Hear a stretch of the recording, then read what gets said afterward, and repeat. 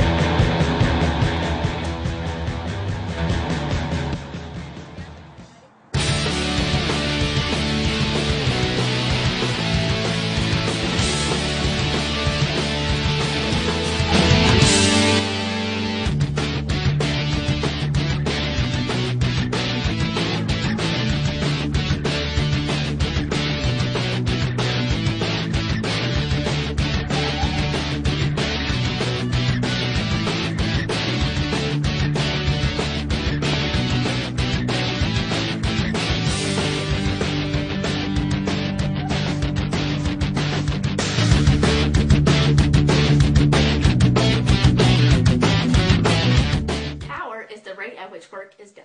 Power equals the amount of work done divided by the time interval during which the work is done. P equals W divided by T.